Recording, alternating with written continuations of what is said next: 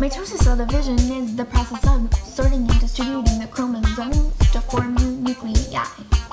Mitosis has four stages, prophase, metaphase, anaphase, and telophase. Before this can start, before the cell comes apart, interphase stage. Between each division, two copies are made of sister chromatids in the center of the chromosome centromeres connect those two sister chromatids. Mitosis cell division is the process of sorting and distributing the chromosomes to form the continuous process.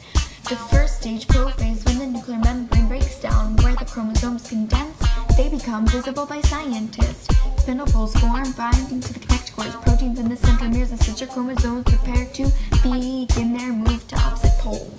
Mitosis cell division is the process of sorting and distributing chromosomes form new nuclei. In the second stage, metaphase, proteins pull the chromosomes to the metaphase plate.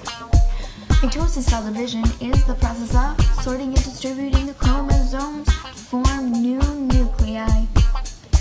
In the third stage, anaphase, the sister chromatids are pulled to opposite poles.